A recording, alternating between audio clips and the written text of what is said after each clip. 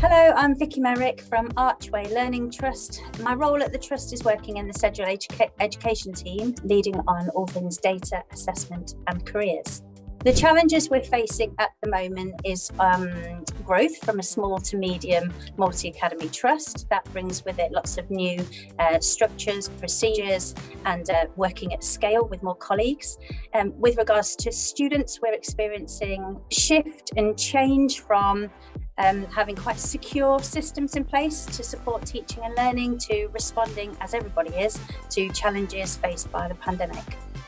At Archway Learning Trust, we pride ourselves in having a joined up common assessment framework, which all schools in the Trust buy into at regular scheduled points um, in the year.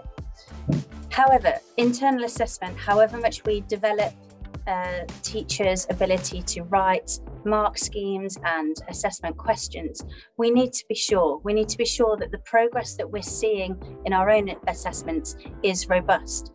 And the standardized element of GL assessments enabled us to validate what we're doing internally. It asks us questions, it challenges what we're doing, and it gives us something to base um, our confidence on with our own systems and processes.